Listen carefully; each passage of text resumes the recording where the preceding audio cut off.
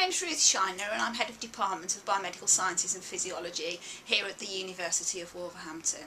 The staff in this department are committed to providing students with education and training to enable them to enter a wide range of healthcare science-based careers. A number of the programmes that we offer incorporate work-based learning as part of the academic programme and this enables students to gain hands-on experience in hospital departments gaining skills in biomedical science and also in the areas of clinical physiology. Our students undertake work-based training in areas such as cardiology, haematology, respiratory physiology um, and immunology laboratories and this means that they are developing the hands-on skills which are used today in hospital laboratories and also in hospital clinics.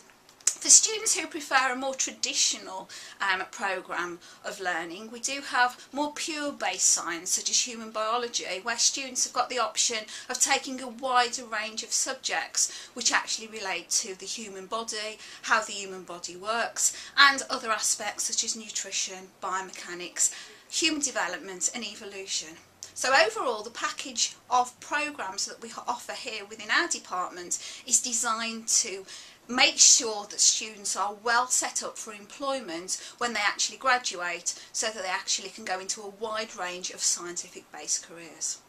I hope this has given you some ideas for the future towards your career um, and we look forward to helping you in the future in your educating and training requirements.